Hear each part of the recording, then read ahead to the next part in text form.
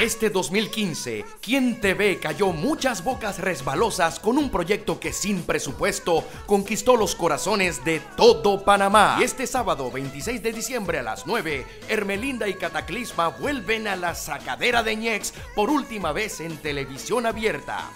No te puedes perder La Pasiva, la peliculona, la novela que le dijo Turn Down for What a la competencia.